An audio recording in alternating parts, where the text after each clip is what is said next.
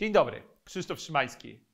Wiele z osób zastanawia się, czy tak warto brać kredyt teraz na zakup domu, czy może się wstrzymać.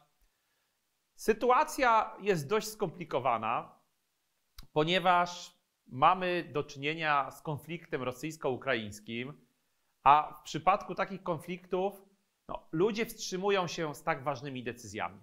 Skupiają się głównie na tym, co dzieje się dzisiaj i czy są bezpieczni.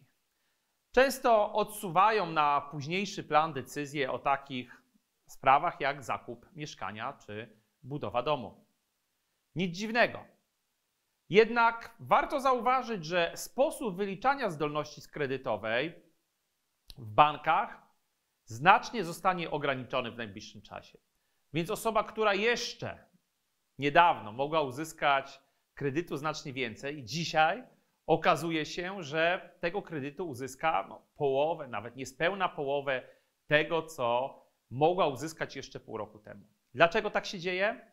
Otóż Komisja Nadzoru Finansowego wystosowała do banków w ramach rekomendacji ES kolejne zalecenie, żeby przy wyliczaniu zdolności kredytowej podnosić stopy procentowe do określenia tej raty, która którą klient jest maksymalnie w stanie spłacać, podwyższona stopa o 5%.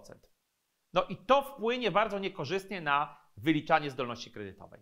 Oczywiście nie jest wykluczone, że banki zaczną stosować stałe stopy procentowe, nawet w całym długości trwania kredytu, tylko po to, żeby móc nadal finansować klientów i ich zakupy. Więc w przypadku, gdy bank zaoferuje taką stałą stopę procentową, to najprawdopodobniej bank nie będzie musiał stosować właśnie tego 5% buforu, no bo rata będzie stała przez całą długość. To może skłonić rzeczywiście, bo jeżeli popatrzymy na inne kraje europejskie, to tam takie rzeczy już się dzieją. U nas oczywiście jest większa zmienność tych stóp. Banki no, boją się przejąć to ryzyko na siebie. Oczywiście musimy liczyć się z tym, że taka stała stopa procentowa, taka gwarancja stałej stopy może oznaczać, że te stopy procentowe, nie stopy procentowe, tylko oprocentowanie takiego kredytu będzie dość wysokie. Z pewnością to nie będzie oprocentowanie w wielkości typu 5%, 4%. Bardziej myślę w granicach 7-8%, jeżeli chodzi o taką długość kredytu, przez całą długość, żeby ta gwarancja była dawana. Także to jest jedna sprawa.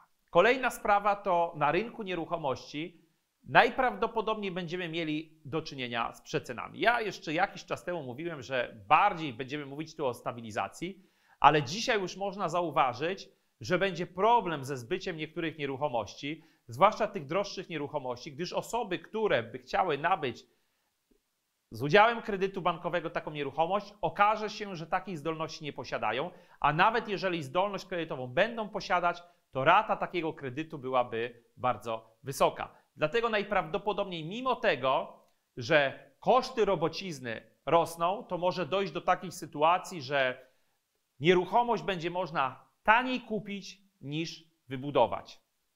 Takie rzeczy się dzieją w przypadku zachwiań w gospodarce a teraz rzeczywiście nasz kraj postrzegany jest jako kraj, który no, może dołączyć do tego konfliktu. Także osoby, które mieszkają w Polsce, często występują także po paszporty, co mogłoby określać, że sytuacja na rynku jest niepewna. I mało prawdopodobne jest to, żeby było dużo osób zdecydowanych i mimo tego chciało nabywać nieruchomości.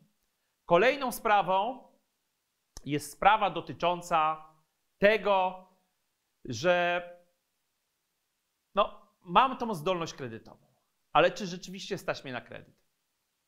Możemy zauważyć, że koszty życia tak naprawdę poszły do góry. Paliwo jest droższe, opał jest droższy, coraz częściej ludzie także kupują opał, mimo że zima się kończy, a nie zaczyna, to jest niedobór tego opału. Także pod względem żywności, może dochodzić do pewnego rodzaju zawirowań z uwagi na to, że też sporo między innymi pszenicę kupowaliśmy właśnie za wschodniej granicy. Także tych produktów, które będzie brakować, bo będziemy mieli do czynienia z tak zwaną gospodarką niedoboru, no to to sprawi, że osobom coraz mniej w ramach tego dochodu, którym dysponują, zostanie na obsługę raty. Dlatego osobiście uważam, że ceny nieruchomości spadną, jednakże jeżeli chcesz skorzystać z kredytu bankowego, chciałbyś na ten temat porozmawiać, porozmawiajmy, jakie masz możliwości i na jaki kredyt tak naprawdę cię stać. Tak, żeby nie był on źródłem problemu, tylko żeby zakupiona przez ciebie nieruchomość była dla ciebie źródłem szczęścia. Także dziękuję i do usłyszenia.